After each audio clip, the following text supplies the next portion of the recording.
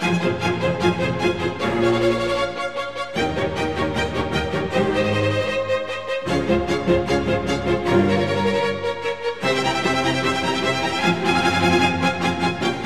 Carlos Gastou Gonçalves ostenta com orgulho o seu troféu de destaque especial nesta noite, que é a noite dos economistas, a noite do Corecon, aqui no Plaza São Rafael. Coroamento de um trabalho, coroamento de uma vida, não é, professor Gastor? Parabéns. Muito obrigado. O, isso foi uma surpresa para mim, né? Porque a gente quando já já está no banco de reserva, né? Qualquer coisa que venha surpreende, né? Mas eu acho que isso é uma dedicação que deve ser dada, vamos dizer, pela vida do trabalho, pelo desenvolvido, para estimular até os jovens, né? Uhum. Porque eu comecei muito cedo, completei meus estudos durante a guerra. Em que ano? 1944. Em 44? A guerra terminou em 45? Terminou em 45. E essa tinha reflexo até na escola, porque tinham professores que defendiam essas é, ideias totalitárias uhum. e o, mais dois ou três alunos é que se revoltavam contra isso e prejudicavam até os estudos, né? Claro. Então, as dificuldades que vocês tinham, como uh, bibliografia, em contatos com centros culturais, não podia, porque a Europa estava em conflito, depois os Estados Unidos também, né? Então, informa os livros que a gente recebia, eh, específicos, eram geralmente impressos na Espanha, na, no México, na Argentina, e as dificuldades foram grandes sempre.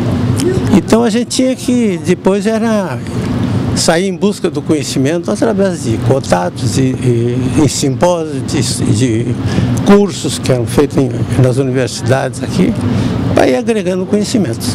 É, o economista destaque especial, vejam os senhores e as senhoras, é, formou-se em 44, um ano antes do final da guerra.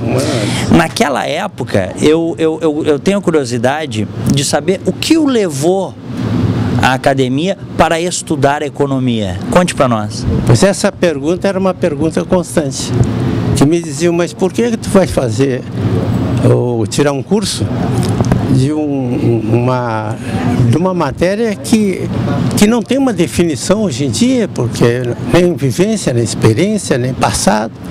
Eu digo, olha meu filho, só no acompanhamento diário que eu tenho desses acontecimentos na Europa, na guerra, eu estou vendo a destruição de cidades, de países que estão sendo completamente dizimados.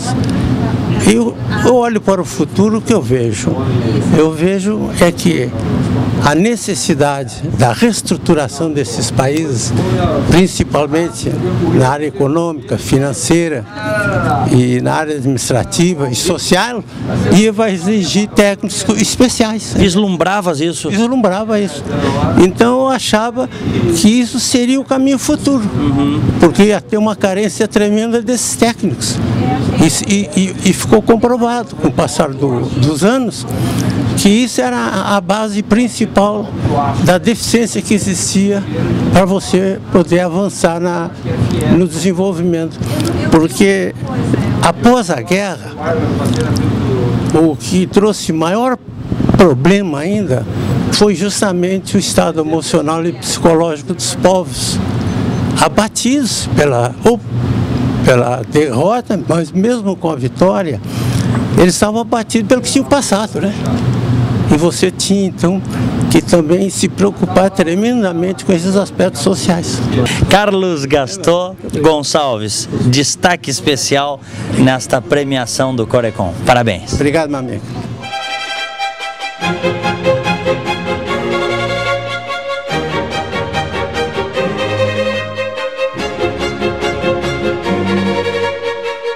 Sétima edição do Prêmio Economista do Ano, uma promoção do Conselho Regional de Economia, e eu encontro o economista Ricardo Ringel, que é diretor financeiro de relações com investidores do Banrisul. Sempre um prazer te encontrar, Ringel. Ah, muito obrigado, é um prazer também te encontrar aqui. Tá, até esse evento, é um evento muito importante para mim, particularmente. Então, o fato, eu, eu fui escolhido pelo Conselho para o quinto é, prêmio, está fazendo exatamente dois anos então, que eu ganhei o prêmio aqui. E fiz questão de vir cumprimentar o Clóvis, tá? O Clóvis, não só pelo Clóvis ter sido eleito, tá? ter ganho esse sétimo prêmio, mas porque eu comecei minha carreira com o Clóvis, tá? Na época do Badesul, quer dizer, nós começamos juntos no Badesul, tá? Eu cheguei no Badesul, ele foi meu primeiro, meu primeiro chefe lá. Ano 70? Ano 77, isso. Ah, então eu achei, é, uma, é uma, um evento acho muito importante, muito interessante, pra, particularmente para mim, e abraçar exatamente o Clóvis. Eu acompanhei, eu acompanhei muito bem a, vida profissional dele, então são 30 anos, mais de 30 anos acompanhando, então acho que muito importante assim. E eu sei bem o que vale o, esse, esse prêmio para a nossa categoria, é o melhor, é o prêmio mais importante para a categoria no estado do Rio Grande do Sul, tá? É o sétimo, quer dizer, só tem sete pessoas no estado, sete dos profissionais formados em economia no estado é, que receberam esse prêmio. Então, acho que fantástico aqui é hoje o dia. Um abraço. Muito obrigado. Um abraço.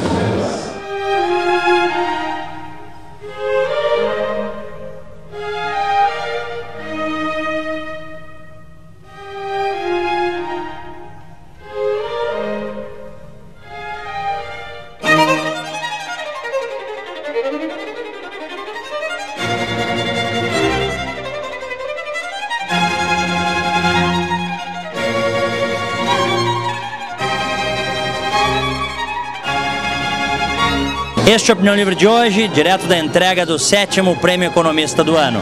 Obrigado pelo prestígio, audiência, um abraço, tudo de bom para você.